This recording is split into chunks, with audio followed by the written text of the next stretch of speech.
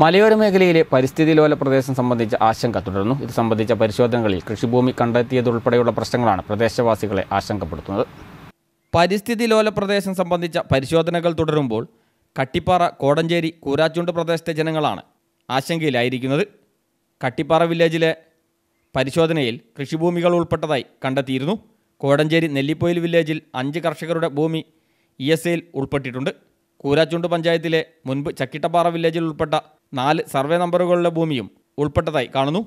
ഇത് ടൂറിസം ജലവൈദ്യുത പദ്ധതികളുടെ ഭാവി വികസന പ്രവർത്തനങ്ങളെ പ്രതികൂലമായി ബാധിക്കാൻ സാധ്യതയുണ്ടെന്നും നാട്ടുകാർ പറയുന്നു. കട്ടിപ്പാറയിൽ അമരാട് കൊളമല പ്രദേശങ്ങളിലെ പരിശോധനയിലാണ് കൃഷിഭൂമിയിലേക്ക് ഇ എസ് എ പ്രദേശങ്ങൾ കടന്നുവന്നത് കണ്ടെത്തിയത്.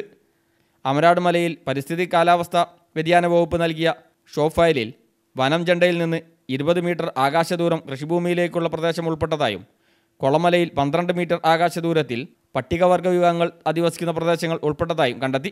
കോടഞ്ചേരി ഗ്രാമപഞ്ചായത്തിലെ നെല്ലിപ്പൊയിൽ കോടഞ്ചേരി വില്ലേജുകളിലെ നിർദ്ദിഷ്ട പരിസ്ഥിതി ലോല മേഖലകളുടെ പരിശോധനയിൽ കൃഷിഭൂമികൾ ഉൾപ്പെട്ടിട്ടുണ്ട്. കോടഞ്ചേരി വില്ലേജിൽ ഒന്നാം വാർഡിൽ പട്ടികവർഗ കുടുംബങ്ങൾക്ക് പതിച്ചു നൽകിയ വട്ടച്ചിറ ആദിവാസി കോളനിയുടെ കൃഷിഭൂമികളാണ് ഇ എസ് എയിൽ ഉൾപ്പെട്ടതായി കണ്ടെത്തിയത്. നാലാം വാർഡ് തുഷാരഗിരി പ്രദേശത്തെ സ്വകാര്യ ഭൂമികളും ഇ എസ് എയിൽ ഉൾപ്പെട്ടിട്ടുണ്ട്. ഏഴാം വാർഡിൽ കൂരോട്ടുപാറ പ്രദേശത്ത് പത്തോളം സ്വകാര്യ കൃഷിഭൂമികൾ ഇ എസ് എ പരിധിയിൽ ഉൾപ്പെട്ടു.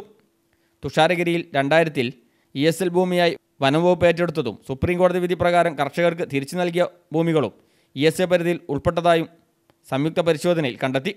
പരിശോധനയിൽ കണ്ടെത്തിയ സ്വകാര്യ ഭൂമികൾ ഇ എസ് എ പരിധിയിൽ നിന്ന് ഒഴിവാക്കുന്നതിനാവശ്യമായ നടപടികൾ സ്വീകരിക്കുന്നതിന് കോടഞ്ചേരി പഞ്ചായത്തിൽ പ്രത്യേക ഭരണസമിതി യോഗവും ചേർന്നു. News bureau Kodanchery.